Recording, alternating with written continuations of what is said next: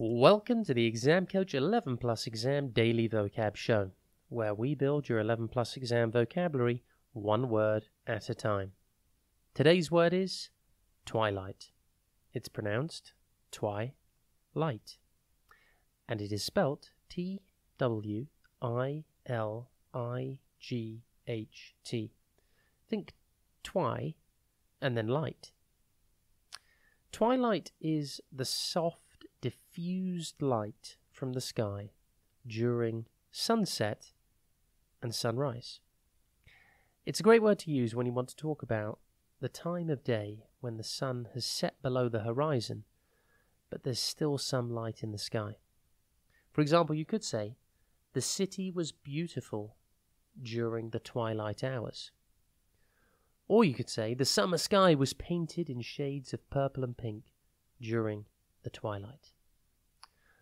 The word twilight comes from the Old English word twilight, which means light before dawn.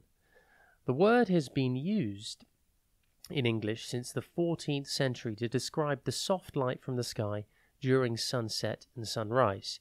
Its meaning remains exactly the same today. You might have heard the word twilight before, as it is the name of a very famous film franchise, which tells the story of a girl who falls in love with a vampire. All the books and films are named with words associated with the sun and the moon. For example, eclipse and twilight. Synonyms for twilight include dusk, gloaming, and evening.